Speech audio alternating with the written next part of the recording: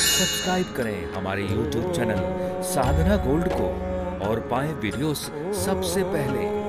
Bell icon दबाना ना भूलें।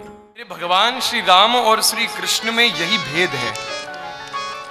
राम जी खुद कहेंगे कि आप संतों की पूजा करो और मेरे कृष्ण संतों से कहते हैं कि तुम मेरी पूजा करो। परित्राणाय साधु नाम।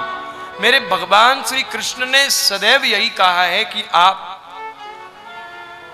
मेरा मेरा नाम जपें। क्योंकि अगर आप ऐसा करेंगे, सब कुछ छोड़ करके सर्वधर्मान परित्यज माँ मेकम शरणम ब्रज आप सब कुछ छोड़ करके मेरे पास में आइए और मैं क्या करूँगा?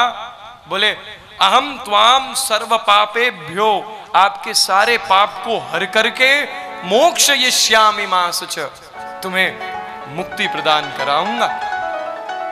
तो कृष्ण ऐसे हैं जो सबसे कहते हैं कि तुम मेरी पूजा करो और राम जी कहते हैं कि पूजा करनी है संतों की करो। भगवान श्री कृष्ण ने अपनी लीला से भगवत्ता का पाठ पढ़ाया है और हमारे रामचंद्र जी ने अपनी लीला से मानवता का पाठ पढ़ाया है। मनुष्य कैसा होना चाहिए, ये राम जी से सीखिए आप। और भगवान कौन है, ये आपको मेरे ठाकुर जी बताएँगे। इसीलिए उनकी क्रियाओं को करने की आप सोचिए मत।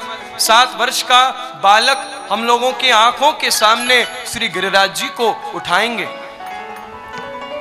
कोई भी बालक अग्नि का पान नहीं कर सकता है। छह दिन का बालक अठारह किलोमीटर की पूतना को नहीं मार सकता है। आप उनकी क्रियाओं को करने की नहीं सोचिए।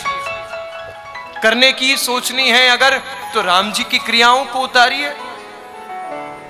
कृष्ण ने जो कहा है, वो करो। राम जी ने जो किया है, वो करो। प्रेम से बोलो।